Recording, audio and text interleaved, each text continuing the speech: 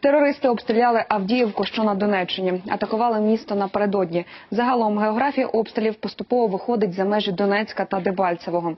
За повідомленнями місцевих жителів, напередодні артилерійські постріли було чути в районі міста Брянка, Стаханова та Алчевська. Це все на Луганщині. Разом із цим бойовики не полишають в спокою Донецький аеропорт. Напередодні українські силовики відбили чергову атаку. А от на сайті Донецької міськради повідомляють, снарядами в місті зруйновані ще кілька будівель.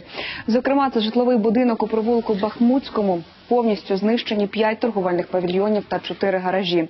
Також в регіоні й досі знеструмлені 84 підстанції. Напередодні енергетики відновили електропостачання в районі шахт Трудовська і 12.